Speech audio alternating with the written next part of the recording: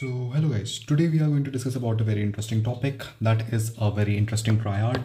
Um, basically today we are going to discuss a triad that has been asked in uh, NEET PG 2023. Um, before starting with our topic, basically I just want to tell about this channel. This channel caters to uh, converting the abrupt text into very interesting images so that it seeps deep down within your subconscious. Right? So let's begin. Right. So क्या तुम लोगों को ये cot दिख रहा है And this is your achar. Combine these two and this would form char quartz triad. ठीक है? This would result in the formation of Charcot's triad easy अच्छा। उसके बाद can you see this fire fire मतलब क्या होता है बच्चा? टेम्परेचर राइट तो fire that is rise in temperature या फिर we can say fever right we can say fever right अच्छा उसके बाद जैसे ये येलो आदमी येलो आदमी is are representation of jaundice simple right jaundice होता है। उसके बाद जैसे कि यहाँ ना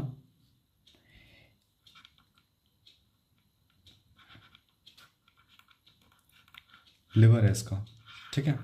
एंड इसको यहाँ पे पेन हो रहा है। That is basically your right upper quadrant pain ठीक है? राइट अपर क्वाड्रेंट पेन आप लोगों को हो रहा है, ठीक है? यहाँ थोड़ा जूम कर देता हूँ मैं, ताकि तुम लोगों को दिखा दे। That is this is the right upper quadrant pain this is the right upper quadrant pain that I am talking about ठीक है? So these are the three things that are included in the Charcot's triad अच्छा now we are going to discuss कि इसके बाद वो क्या पूछता है?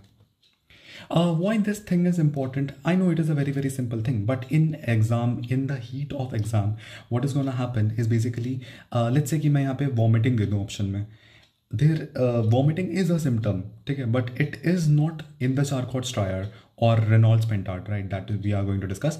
So I just want you to hammer it so deep that you don't make it a mistake, ठीक है, you don't commit a mistake, right? अच्छा उसके बाद इसने देखा कि भाई मेरा घर जल रहा है, मेरी ज़िंदगी भर की जमा पूंजी चल रही है। देन उसको क्या आया यार? चक्कर आ गए। तो just remember it is altered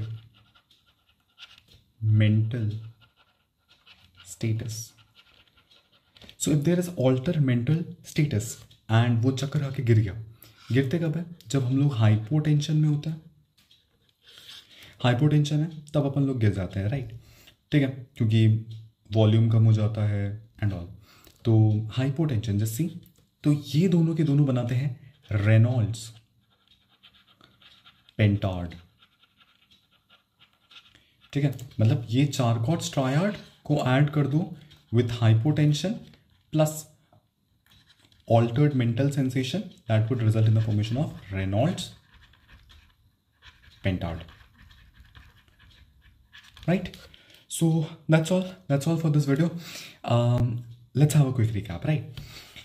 Fire increase in the temperature that is fever achar plus cot that is charcot's triad hypotension plus um, hypotension plus altered mental sensation is resulting in the formation of reynolds pentad right upper quadrant pain plus jaundice plus fever that is basically your charcot's triad right?